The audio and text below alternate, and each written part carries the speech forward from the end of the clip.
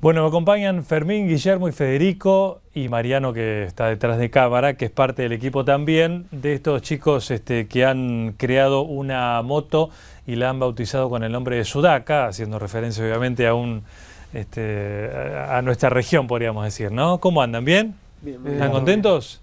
Sí, gracias ¿Sí? por invitarnos. No, por favor, un placer. La verdad que es muy bienvenido siempre este, y entusiasma conocer proyectos como el de ustedes. ¿Qué edad tienen? 20, 25 en mi caso. 25. 26 yo. 26. Y son eh, Diseñadores industriales. Industriales, de la UBA. De la UBA, De la UBA. correcto. ¿Y a quién se le ocurre hacer esta moto? Un poco, Eh, en- un poco surge... eh, ¿un al trabajo práctico. Sí, es, es el- el- la- nuestra tesis de diseño Ajá. de la materia de tecnología, que es anual. Y al inicio de la, de la cursada sabíamos que era un trabajo importante y que teníamos que dedicarle mucho tiempo de nuestra, nuestra investigación. Y queríamos hacer algo que, que sirva para la sociedad actual, argentina, eh, que, y con la ambición de poder producirla localmente también. Entonces queríamos hacerlo bajado a tierra. ¿Alguno tiene moto ya? No, No, no tiene moto. Bici. Sí. Únicamente son-. ¿Bici Pero- motor? No, no, sí. Están de moda los bicimotores ahora, ¿no? De vuelta. Sí. Existen, Sí. sí, existen bastantes. Este, bueno, aprobaron la materia, ¿no? De- Y ¿O no? se puede decir que sí. se puede decir que sí, ¿no? Sí, sí. Eh, ¿Son todas las, digamos, la- las tesis que se plantean?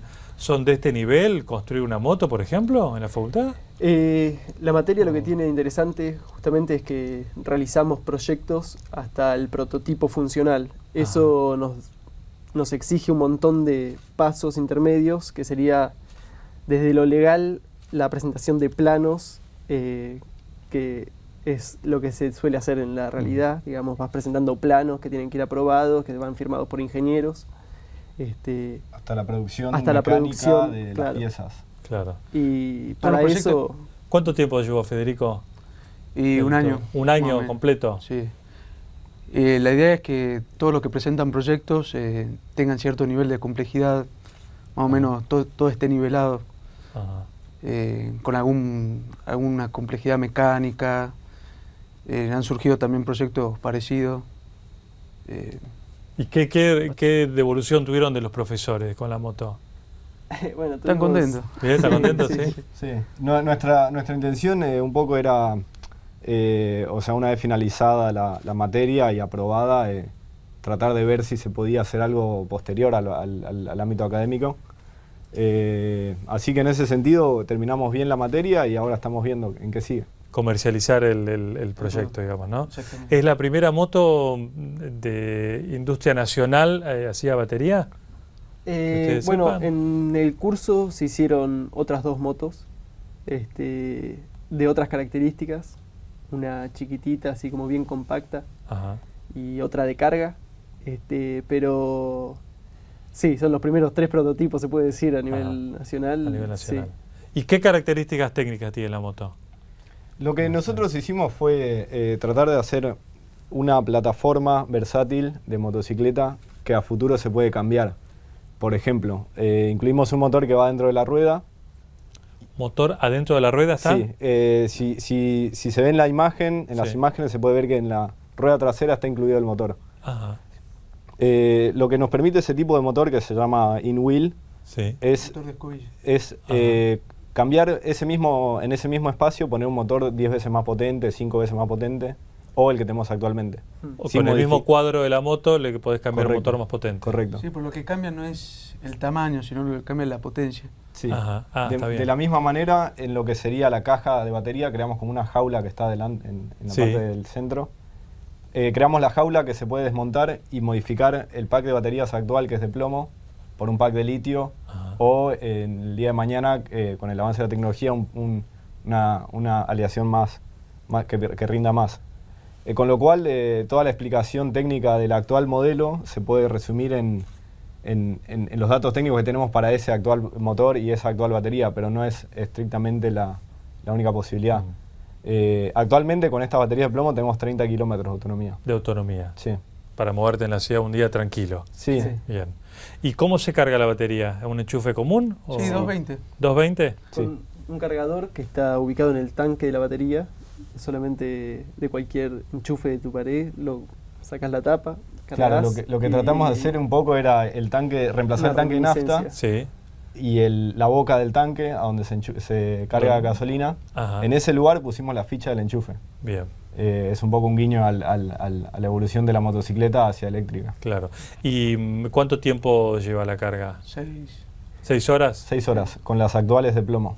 Claro, el litio carga más rápido y tiene una eficiencia mayor, o sea, dura más tiempo Mm. la carga. Pero es más cara la batería de Es litio. poco más cara, y, Más eso- cara. y acá en el Claro. mercado local no se consigue. No se consigue. No. Pero a la larga es más barata por un tema de que una batería de plomo en dos años debe ser reemplazada, una batería de litio en 10 años debe ser reemplazada. Y- Nuestra, nuestra idea es hacer un, pro- un segundo prototipo con litio y con un, poder, un motor más potente. Claro. ¿Y cuánto, cuál es la relación del, o sea, cargar de noche, uno supone la, la moto, este, a, a un enchufe de 220, cuánto te consume energía? De la boleta de luz, digamos. Sí, eh, mira, es, es- la verdad que es mínimo. Eh, el- eh, eh, para que se den una idea, en su casa andar en, en una, una hora en la motocicleta es más o menos lo mismo que usar el microondas por, eh, por una media hora, 40 Ajá. minutos. Así que, por una cuestión de watts Sí. consumidos. Así que el, el gasto económico energético es, es mínimo. O sea eh, que en seis horas, ponerle que la cargues eh, todos los días, de lunes a viernes, bueno, sábado también para salir, o sea que sería este, 36 horas de carga. ¿Eso en la boleta de luz cómo impacta? ¿No? ¿Hicieron ese cálculo? Sí, más o eh, menos? no, no hay una cifra, no tenemos una cifra económica, pero es eh, realmente es mínimo el Es impacto. mínimo. Mm. Eh, uno, uno consume en una casa eh, tipo 200 kilowatts por mes sí, y esto nos estaría eh, consumiendo un kilowatt por día si usamos los 30 Ah, kilómetros. está bien. O sea que la relación combustible, la, la relación nafta, digamos, o Sí. gasoil, eh, es, es beneficiosa. a la larga es a la beneficioso. Eh, hay, hay algunos datos, encontramos en internet espe- específicamente de, de Estados Unidos, que te dan el- el- la, la conversión monetaria de cuánto gastaría en, en nafta o en eléctrica y eh, en- casi en todo el mundo es más barato, eh, por cuestión de los precios de la nafta. Claro. Y nuestra forma de, o sea, lo que nosotros creemos es que a la larga el combustible eh, a medida que se escasea va a subir su, su precio. Eh, con, con la creación de energía de manera alternativa, con, con, este, con otro eh, que no sea ter- termo- eh, termoeléctrica, Sí, energías renovables. energías Claro. renovables, se puede hacer un, un sistema de, de consumo y producción de energía que sea más, más económico y más... ¿Cuánto Ah, cuesta la moto? ¿O cuánto costaría? Eh, mi- nuestra idea es eh, comercializarla eh, y posicionándonos en un segmento del mercado que compita con las scooters de 125. 125. Ujú. Del rango de precio actual está de esos eh, vehículos está en 16 mil pesos más o menos. Eh, la- la- es- esto eh, tiene una, una diferencia, al ser eléctrica tiene un, un ahorro de económico a la larga, como decíamos con el combustible. Eh, y además, si producimos localmente, producción nas- eh, nacional, eh, también se puede competir desde, el- desde los precios. Siempre Y- hay que tener en cuenta que Sí. mientras más producís, eh, más barato se te vuelve el fabricar el producto. Claro, eh, en escala obviamente. economía de escala, claro. ¿Y tienen ya un fabricante o No, Estamos no, a la espera de... Surgió gente interesada. está- está- están buscando un mecenas que los acompañe con Sí, este un proyecto? poco nuestra idea, eh, más bien de- eh, conceptual, es hacer eh, producción local y, y mic- y microproducción. Es decir, eh, a diferencia del, del actual paradigma de, de- de fabricación de, vehículos, que, se, que, que las fabrican las grandes empresas Ujú. en grandes fábricas, eh, quisiéramos tratar de hacer algo más a nivel local y quizás más reducido en tamaño, eh, capaz con talleres o con, eh, con, con personas con trabajo más, man- más eh, manual, por una cuestión económica y por una cuestión de la producción local. Sí, Tecnoproductiva es viable en un taller con maquinaria no de última generación, no son los robots de la industria sí, sí. automotriz, Claro, digamos. claro. Pero todos los materiales y procesos con los que está hecho la moto es tecnología muy accesible acá en el mercado. ¿Las cubiertas son nacionales, por ejemplo? Las cubiertas son, O- eh, en este caso, son eh, nacionales, pero hay un gran, hay un rango amplio de cubiertas, se puede Claro. modificar el día de mañana. ¿Y el cuadro quién lo hizo? El cuadro es- es nuestro diseño, justamente. Claro. Este, es la parte donde... ¿Lo mandaron a hacer a un...? Claro, nos curvaron los caños una empresa, Ceciola. se Ceciola. Ajá, Este, bien. ¿Y el motor quién lo hizo? El motor es comprado. El motor lo, lo compramos, es eh, industria eh, china, pero estamos en contacto con unos productores locales que están eh, produciendo actualmente El el en motor. Argentina. También las baterías. Las eh, baterías también, caso. localmente. O sea, son partes componentes que son muy accesibles acá, pero Ajá. no están fabricadas acá. Ajá. ¿Y mm, en dónde, en qué casa trabajaron? ¿En dónde se juntaban? En, ¿Iban a tu casa? en mi casa, es la casa, la casa de la paz se llama. Ajá, ¿sí? sí, es una casa cultural. Muy bien. Ah, ¿dónde Este, vivís vos? Donde vivo yo, donde cultivamos árboles nativos. Qué bien, ¿en dónde? Eh, es por Belgrano. Ajá. Por Belgrano y tenemos sí, un árbol para mi vereda, también se hospeda en la misma casa. Así que Qué bien. Ahí tenés un taller. ahí tenemos un taller donde hicimos todo, básicamente A pulmón. a pulmón. Sí, pasito a pasito. Bien. ¿Y qué, cómo fue la sensación cuando terminaron el trabajo? Esto es un sueño cumplido, ¿no? Alivio. Alivio, hubo Sí, brindis. satisfacción. La verdad que teníamos la idea desde el comienzo y, y- y no, no sabíamos bien para dónde iba a terminar.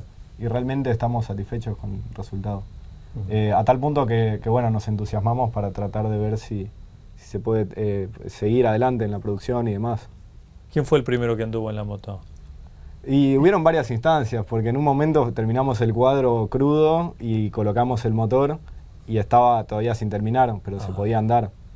Eh, Bueno, sí, aquel, aquel día de la primera conexión fue... eh, ¿Saliste vos? tuve la suerte. Ajá, Pero bueno, cuando estaba lista es, es- es diferente también. claro. Por aparte vas haciendo pruebas, porque por ahí te subís y hay algo que no te gusta cómo funciona. ¿Y en el medio ¿Cómo se tropezaron con alguna dificultad, con problemas? ¿Cómo resolvieron? sí, muchos, Sí. muchas ¿Alguna dificultades. que hubo anécdota? que- Y lo más complicado, por ejemplo, fue, en mi caso, partí, en ¿Qué te mi opinión, digamos. Lo de la pierna no es en la moto, ¿eh? No, tiene no, nada que ver. nada que Ah, ver. bueno.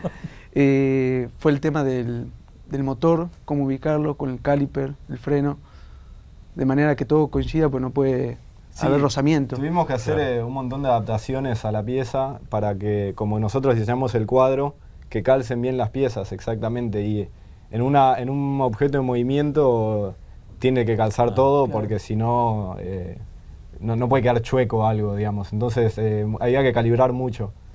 Y a veces había cosas que eran mínimas, pero tardaba un montón en, en calibrarse. Mm. ¿Y las familias qué dicen? Están, ¿Están muy con- están contentos? sorprendidos. ¿Sí? también. ¿Están sorprendidas? Sí, sí, sí. No se esperaban. Hay muchos familiares lejanos que aparecen a felicitar porque Qué bueno, ¿no? no pueden creer que... ¿Esto de- es- los entusiasma para hacer más proyectos? Sí. Totalmente. Eh, a nosotros, eh, como te comentaba, de que cuando empezamos, el- cuando elegimos el producto este, nos, entusiasma- no- nos entusiasmaba la idea de modificar un poco la matriz actual de transporte urbano Claro. eh, y me- nos parece que se pueden incluso fabricar otros vehículos que también estén de acuerdo a, a algo ma- que tenga más sentido con la ciudad actual. Claro. Eh, estos son, por ejemplo, la moto es silenciosa, es un Te iba a andar más suave. eso, claro, no Eh, tiene caño de escape. No o- tiene caño de escape, claro. no tiene emisión de gases. Claro. Eh, Sí, se adapta más a un nuevo paradigma, digamos, de cuidado del planeta. Más amigable, también. como Sí. se dice ahora, Mm. ¿no? ¿Qué velocidad alcanza? Y eh, con este prototipo alcanza 45 kilómetros por hora. Ajá. Eh, pero bueno, co- como mencionábamos antes, eh, se puede eh, modificar el motor a uno o cuatro veces más potente y, y Pues la idea es un vehículo meramente urbano, o sea que Claro. vos salgás, vayas al, Vas labu- al al trabajo, trabajo, a estudiar. sí. Claro, tal cual. Claro. Porque es para uno, aparte, es un es mono, para uno. ¿no? ¿Cómo se llama? Sí, un así, monoplaza. Monoplaza. Sí. monoplaza. Eh, lo- también otra cu- cuestión es que en cuanto a la tipología, digamos, eh, formal, digamos, la forma del cuadro y demás, eh, que quizás no, no se puede describir con una, no se puede marcar en una tipología actual.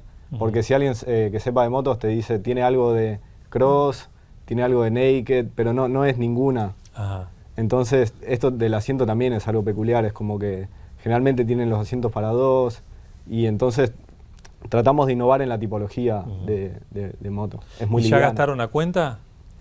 Uno dice, uy, si vendo tantas motos voy a hacer esto, ¿no? No, no. ¿No?